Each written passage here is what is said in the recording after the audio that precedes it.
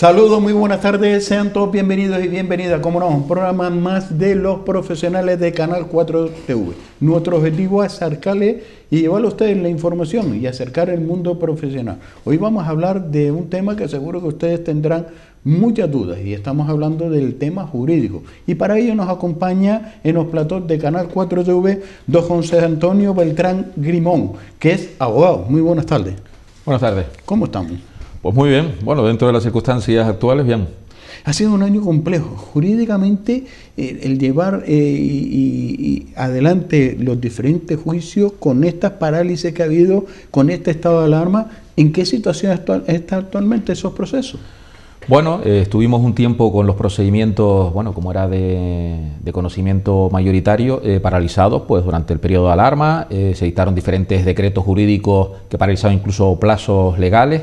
Pero bueno, eh, con posterioridad nos hemos ido adaptando a la normativa en el sentido de, bueno, muchos juicios eh, como se están celebrando vía videoconferencias, eh, otros pues eh, intentando regularizar la normativa a nivel de que no concurran muchas personas a los juicios a la vez y tal. Bueno, eh, los jueces han ido adaptando a medida, y los abogados y los profesionales también, ¿no? Los accesos a los juzgados, como sabrá casi todo el mundo, están ya limitados, no puedes entrar si no tienes una citación, tienes que estar en un listado, etcétera. O sea que, en fin, bueno, la, la, judicatura o la, los procedimientos judiciales eh, muy lentos, pero bueno, se han ido adaptando y, la justicia es parte de, la economía y se ha tenido que reactivar eh, pues este último trimestre del año, ¿no? sin lugar a dudas. ¿Y se han paralizado los procesos? Sí, sí, sí, dura. Bueno, eh, prácticamente hubo un trimestre en el que, mm, entre que no se, bueno, con, excepción de procedimientos judiciales urgentes, el resto de procedimientos estuvieron totalmente paralizados, igual que el resto de la actividad económica, ¿no? ¿Y eso en, qué puede perjudicar a, una persona que presenta una demanda o a una persona que está enjuiciada? Bueno, eh, fundamentalmente dependiendo del ámbito del orden jurídico del que estemos hablando, ¿no? Nos mismo el ámbito laboral, eh, el civil, el mercantil, eh, en realidad la economía eh, o la justicia es parte de, la economía. ¿no? Paralizar procedimientos judiciales en cualquiera de los ámbitos de los que estamos hablando al final afecta al, bolsillo de, cada uno de los justiciables. ¿no? Entonces, eh, bueno, se han tenido que dictar fórmulas y eh, mm, pues, de alguna manera buscar soluciones para que se volviera a reactivar eh, la justicia porque al final eh, afecta directamente al ciudadano ¿no? y la economía se ve, se ve fundamentalmente afectada por, por, esta, por esta situación. ¿no? Eh, ¿En qué ha afectado directamente este COVID-19 a, efectos jurídicos? Bueno, yo voy a poner un ejemplo. ¿no? en el ámbito de los arrendamientos urbanos, por ejemplo, uno tiene una vivienda y un local de negocio, vives de esa vivienda o de ese local de negocio necesitas las rentas y te dejan de pagar. Pues claro, hay una serie de decretos que se ha dictado por el Gobierno de España eh, que paralizaron los eh, procedimientos judiciales, paralizaron los lanzamientos. Eh, la persona que dependa de, económicamente de esas rentas, pues obviamente las expectativas de cobro al día de hoy son nulas o muy escasas, ¿no? con lo cual pues está afectando de manera importante a esa situación. En otros ámbitos, yo que sé, un divorcio, una separación, el tema de los menores, pues, también ha sido un ámbito muy recurrente y muy perjudicado en estas circunstancias, porque al final eh, los decretos de alarma afectaban al, al, ponerse o no de acuerdo que, quién tenía las obligaciones de qué, ¿no? O sea, eso yo ese ámbito no lo llevo, pero bueno, tengo compañeros que, que, me, que me comentaban de situaciones de, bueno, que están separados y los niños sin verlos tres meses, tres meses de incumplimiento de marido o mujer, cualquiera de los que tuviesen en, el momento que se decretó el, estado de alarma y no poder ver a, sus hijos, ¿no? O sea, eso fue una situación que muy, para mí muy dramática, entiendo, ¿no? Para esas personas afectadas. Eh, eh, eh, habla usted un tema que, que, es interesante, que es interesante porque hay mm, dos partes.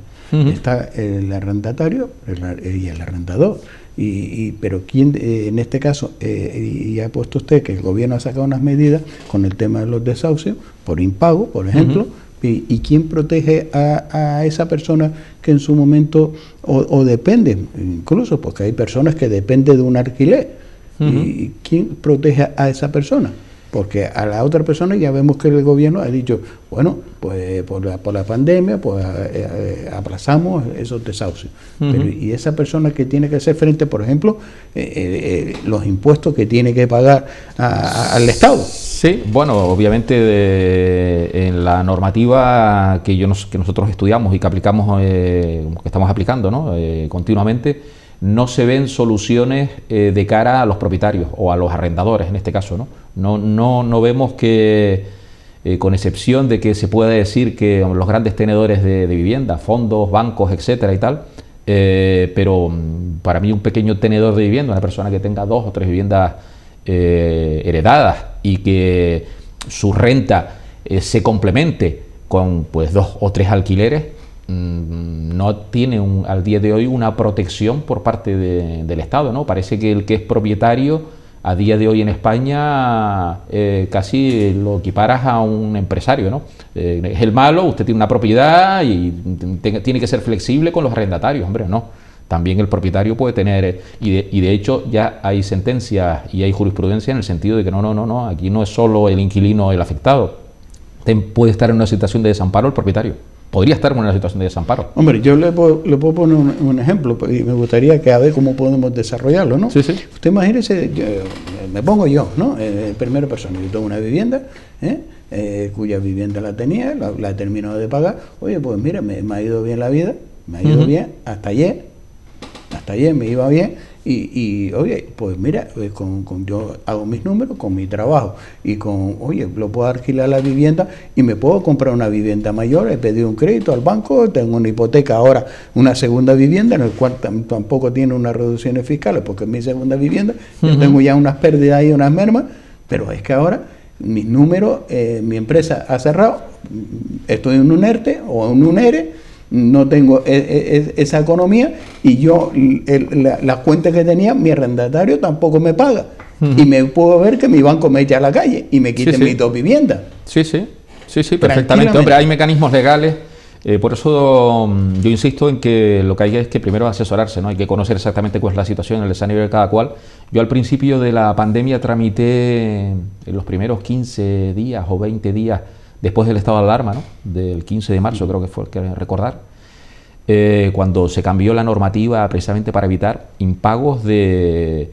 Bueno, también fue todo muy, muy violento, ¿no? Nos cogía todos de sopetón y se dictaron una serie de normas fundamentalmente para evitar que eh, a los propietarios de vivienda se les ejecutara la vivienda, ¿no? Poniendo en relación al ejemplo que me ponía, ¿no? Eh, tramité como cinco o seis solicitudes que nos costaron una odisea, las cosas como son, porque tú desde tu casa eh, te decretan el estado de alarma, no tenías, yo hablo de los mecanismos normales o habituales, yo como profesional sí, pues bueno, tengo mi certificado digital, mis ordenadores en casa, tal, pero bueno, una persona que en una situación normal, habitual, tú puedes tener un ordenador en tu casa, pero no tienes, no estás habituado a tramitar documentación que nos pedían en aquel momento, notas simples, certificados de, de ingresos, eh, IBIS, eh, notas, eh, em, eh, certificados de empresas, etcétera, etcétera. ¿no? Entonces había una serie de documentación que había que tramitar para evitar que te ejecutaran tu vivienda, la hipoteca, si no la podías pagar, porque estabas de repente, tu empresa había cerrado de hoy para mañana, dejabas de cobrar y había que tramitar los ERTE y tú te veías mermadas tus ingresos, un, un 70%, tenías acceso a un 70%, un 30% menos, y ese 30% era para pagar la hipoteca. ¿no? Entonces tramitamos muchas solicitudes iniciales, nos costó una odisea eh, cumplimentar toda la documentación, pero bueno, por hablar bien de, las entidades financieras, la verdad, pues yo hablo de, por ejemplo, de dos entidades con, las que tramitamos, el BBV y la CAIS, todas fueron favorables y aunque faltaba algún tipo de documentación, se salvaba con una, un documento de jurando que la documentación que faltara tú la aportarías, etcétera, etcétera, etcétera. Entonces, en ese ámbito fue eficaz, pero en el ámbito que estaba comentando de, no, yo tengo un alquiler y tengo una propiedad, en ese yo no veo que, que haya mecanismos legales eh, eficaces por parte del gobierno. Los hay generales, un concurso de acreedores, eh, mm, una, ley de la segunda oportunidad, etcétera, pero realmente todo eso tiene un, coste, ¿no? Y, ¿no? y no es tan eficaz o tan inmediato como la gente, como creo que se necesita en la actualidad. ¿no? ¿Es viable esa ley de la segunda oportunidad? Bueno, sí lo es si uno no deja eh, que el tiempo transcurra, que es con lo que entiendo que está ocurriendo en la actualidad, eh, lo suficiente como que para que eh, las cantidades o la deuda que se pueda generar sea insalvable, ¿no? No nos engañemos que no es lo mismo deber 50.000 euros que 200.000, ¿no? Eh, y la gente, desgraciadamente, termina asesorándose mm, tarde y mal, ¿no? Y quiere resolverlo cuando ya no tiene solución, ¿no? Yo, por ejemplo, esta situación que, en la que estamos en la actualidad, prolongando los ERTES continuamente, eh, sin otros mecanismos legales, manteniendo, por ejemplo, hablo de la, de la, actividad del sector turístico, en la que no hay una solución inmediata para que recurrentemente hayan ingresos para las empresas, que se dejen de pagar impuestos, etcétera, lo que al final está generando, y no lo digo yo, ¿no? Salió el otro día, el otro día al colegio de gestores, ¿no? Diciendo, oiga, que esta solución no te está alargando el problema y el problema va a ser mucho mayor. Es como una enfermedad, ¿no? Eh, te dan eh, paliativos, ¿no? Pero no te están dando la cura, ¿no? Y si usted no me da la cura del tipo que sea, yo al final voy a tener una enfermedad terminal o peor. Entonces, pues las empresas están pasando por esa situación y las personas físicas, empresarios, autónomos, pues también. En, en, este tema, en la mayor industria que tenemos en Canarias es el turismo. En, inversión por parte de, un hotel, y pongo otro ejemplo, a ver cómo podemos enfocarlo. Eh, un hotel, un propietario que haga una inversión en hacer un hotel porque tiene un contrato con un tubo operador o varios tubos operadores, con esta pandemia, esos contratos no se van a cumplir ni se van a llevar a cabo. Tengo un ejemplo de eso. ¿Cómo se puede ver en ese caso ese empresario? Porque la verdad eh, es la ruina total. ¿eh? Sí, sí, sí. Bueno, yo tengo un ejemplo cercano. Eh, hicieron una inversión, una reforma más aquí en el sur de Gran Canaria. El año pasado, de pues, el típico hotel de 30, 40 años, los años 70, 80 y tal, reformado. Normalmente reformas o con un crédito bancario o con cantidades a cuenta que te entregan los tuberadores para subir de categoría, por lo que fuera. ¿no? En este caso se hicieron inversiones para este año, aperturarlo con subida de categoría, cuatro estrellas y tal. Bueno, pues llegó el estado de, alarma, mm, ese turoperador adelantó unos pagarés para que el empresario que ejecutó esas obras pues podía hacerle frente también a los créditos pedidos al banco, con lo cual, pues, oye, pues muy bien, reformé, arreglé, la zona de Playa del Inglés, ¿no? Viuda de Franco, oye, eh, apartamentos reconvertidos en hoteles, estupendo, ¿no? Hasta que llegó el estado de alarma, ese tour operador eh, devolvió los pagarés y ese empresario ahora está eh, sin clientes y con una deuda que no puede subir. Pues esa es la situación. Soluciones, las legales, un concurso de acreedores concurso de acreedores. Claro, eh, un preconcurso de acreedores. No, hay otra solución, no hay otra. Con los costes que conlleva y estamos hablando de empresarios solventes, ¿no? Que tienen una buena trayectoria y tal. Esto no es por, una mala gestión, si ha llegado a una situación económica de, de salud pública y ha provocado eh, pues un estropicio económico difícilmente evaluable al día de hoy, ¿no? No sé, hace poco salió alguien, no sé si fue del Colegio de Economistas en Canarias, diciendo que de la gravedad de la situación en Canarias, que no somos conscientes de la gravedad, o sea, esa es la realidad.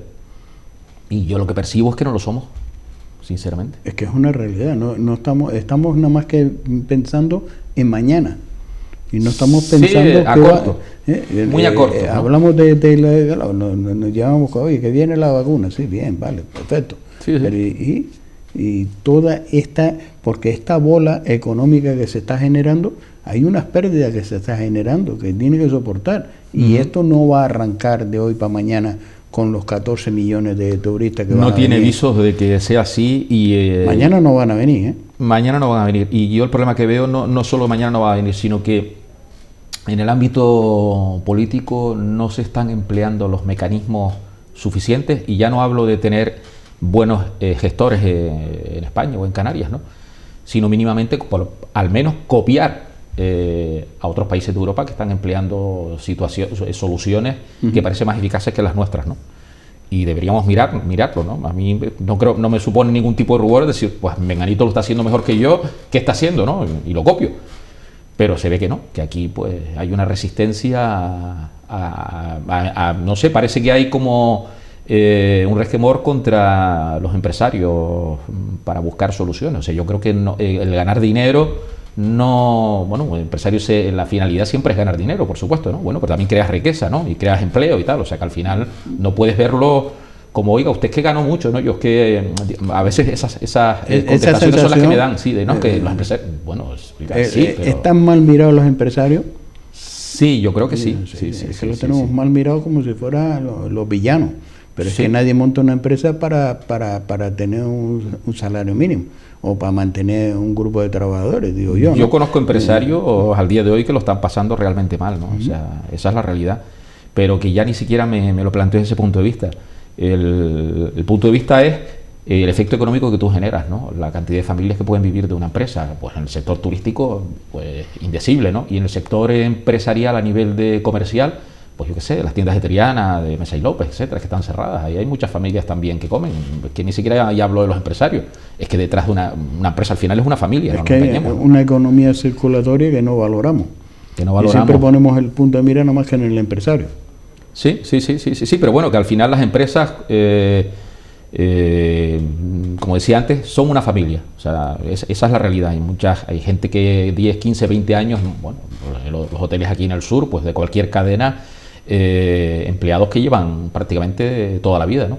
Y entonces al final eh, no, no es el em- no- no es que no puedes ver al empresario como el enemigo a batir. O sea, aquí de lo que se trata es de facilitar eh, mecanismos para que no se destruya ese tejido económico del que vivimos en Canarias. O sea, esa es la situación que veo yo. Pero es que estamos viendo cómo puede ser, de- y, y- y hay un sector que, que, que ha sido todavía más perjudicado directamente, que el sector del transporte, porque se ha paralizado totalmente. Y estamos hablando de sectores de, de- de- empresas que, que- su flota eh, en, en- en esa guagua, pues oye, que una guagua no vale 10.000 euros, ¿eh? Bueno, lo sé, yo tengo un ejemplo cercano. Mi suegro tenía una empresa en Tenerife, transporte importante y tal, y bueno, pues bueno, en su día vendió la empresa y, y conozco de cerca ¿no? el, sector del, transporte, fundamentalmente el transporte, el gestionado, el de del turismo que está totalmente afectado, bueno, igual que están eh, en el ámbito de- del transporte por carretera, los aviones también, o las compañías aéreas, ¿no? Que decíamos, o los, los empresarios de- de los barcos también, o sea, el transporte en general, ¿no? Y para eso, pues, poco o nulas eh, ayudas y pocas expectativas de que se vayan a recuperar eh, tampoco a corto, ¿no? Porque sí es verdad que, por ejemplo, eh, la inversión es muy importante en el sector de transporte, ¿no? Una guagua, pues, de 100.000 para arriba, 100, 180.000 euros, ¿no? Entonces, tener leasing, renting o préstamos con toda tu actividad paralizada, sin mecanismos para hacerle frente a los créditos anudados a, esa, eh, a esos vehículos, pues muy mal se presenta la situación, ¿no? Eh, sinceramente, pero cuando digo mal, es que tampoco se ve que aunque salga la vacuna y vuelva el turismo, se puedan recuperar porque eh, al final esto es una cadena, ¿no? Salvo que los bancos, eh, bueno, que también estamos la- con el tema de las fusiones y tal, que, que, bueno, lo- el primer, el primer síntoma de que desaparezcan bancos y que se fusionen es que esto está muy mal. Sí. Esa es la realidad, no nos engañemos, ¿no? Cuando Algo nos están diciendo, ¿eh? ¿Eh? Que algo nos están diciendo. Claro, lo, lo que nos están diciendo, el sector además es el primero que, que toma medidas, ¿no? Y me parece muy bien, o sea, medidas hay que tomarlas, ¿no?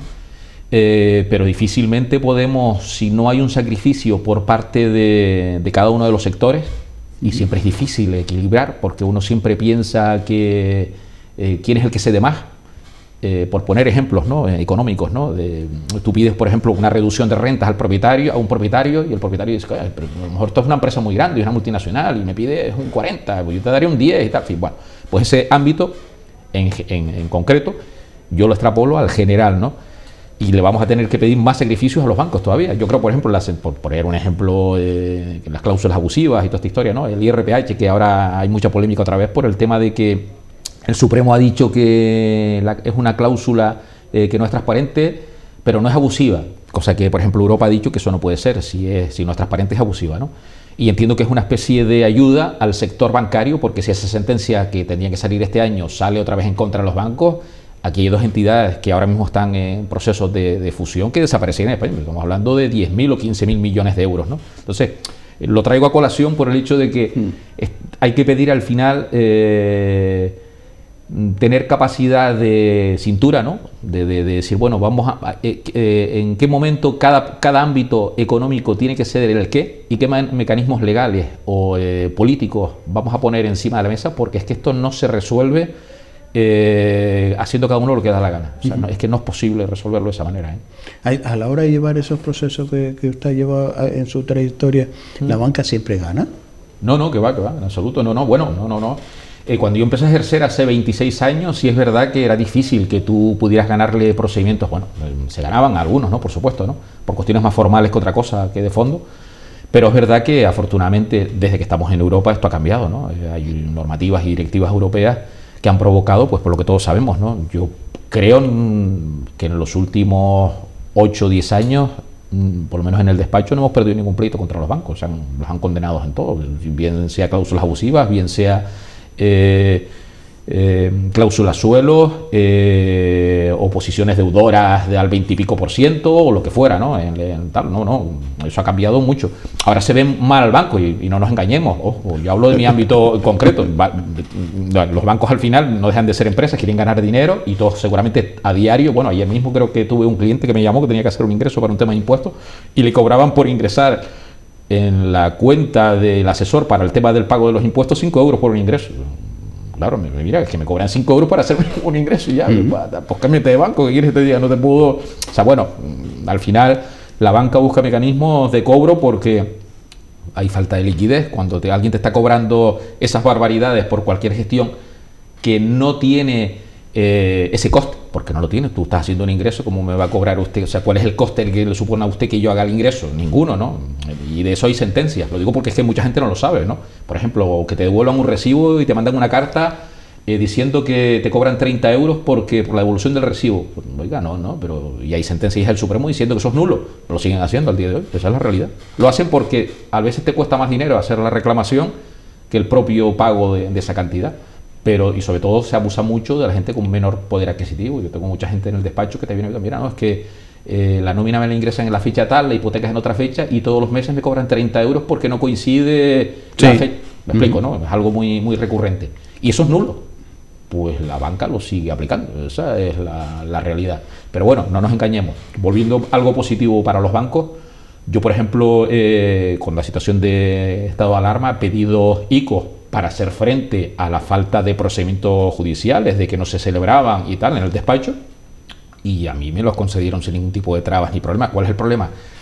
Que creo que también, eh, sobre todo en, Canarias, nos falta formación. Hablo eh, de la población en general. Hay que, tenemos que estar preparados porque la, situación, la, actividad económica en la que vivimos requiere de que tengamos una formación. No podemos vivir a espaldas de, la economía y de la realidad, y aquí hay mucha economía sumergida. Entonces, cuando tú vas a pedir un ICO o vas a hacerle frente a algún tipo de operación financiera del tipo que sea, oiga, sus ingresos, no, yo es que no declaro, no, mire, yo es que... Eh, trabajo en este sector o en el otro, pero el 80% de mi facturación, mm. hombre, claro, lo que era positivo para aquel momento, hay mucha gente, bueno, creo que salió eh, en las primeras semanas del estado de alarma la situación dramática que había mucha gente mm, que vivía, que trabaja en negro, ¿no? O tal, pues que no se factura y tal, pues claro, lógico. Sobre todo el personal eh, de limpieza, de, lo que llamamos servicio doméstico. Sí, sí, sí. Cuando sin embargo se podría traer perfectamente, o sea, porque es que realmente hay mecanismos para y tampoco son tan caros, o sea, yo tengo mi casa también y oye, pues tú puedes estar dado de alta de eh, para hacer el servicio de hogar y tampoco el coste es tan elevado. Mm, es que nos tenemos que acostumbrar a que eh, hay, que pagar para poder tener, eh, digo, en una situación como esta, yo creo que todos hemos aprendido y mucha gente va a aprenderá de que hay que intentar eh, normalizar situaciones económicas que nos parecían normales en aquel momento y ahora van a, van a cambiar totalmente y nos va a cambiar la mentalidad, sin lugar a dudas. Don, José Antonio, nos vamos a ir unos minutos de publicidad y a la vuelta volvemos nuevamente con todos ustedes compartiendo este tiempo de los profesionales de Canal 4 TV. Seguiremos hablando de, esas medidas y seguiremos hablando de, los ERTE y sobre todo de, esos ERTE que se puede convertir en ERE o los procesos judiciales, con la presencia de nuestro invitado, don José Antonio Beltrán Grimón, abogado. A la vuelta seguiremos con esos temas de interés que seguro que ustedes estarán afectados también o tendrán muchas dudas, pero eso será después de la publicidad.